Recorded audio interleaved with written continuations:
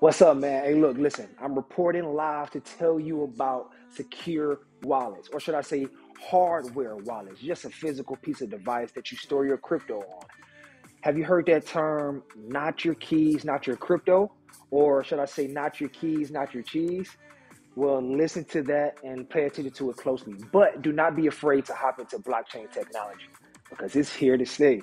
First, I would like to introduce you to Trezor One. The Trezor One is the most affordable and you could say the most reliable since it's been on the marketplace for years to come. And then the next one is the Ledger Nano X.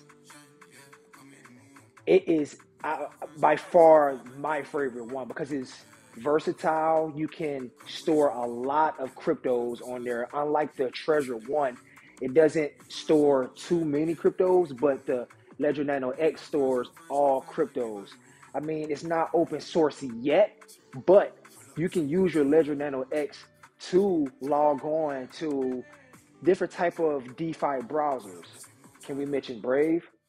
All right, man. But then that was just a little rundown on hardware wallets and the safest way to store your crypto.